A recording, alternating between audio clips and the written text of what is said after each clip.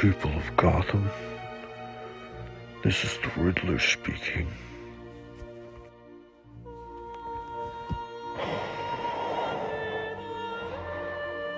Now for a riddle.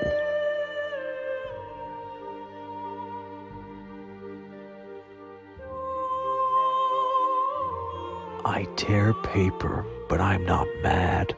I wear a purse, but it's not a fad. Who am I?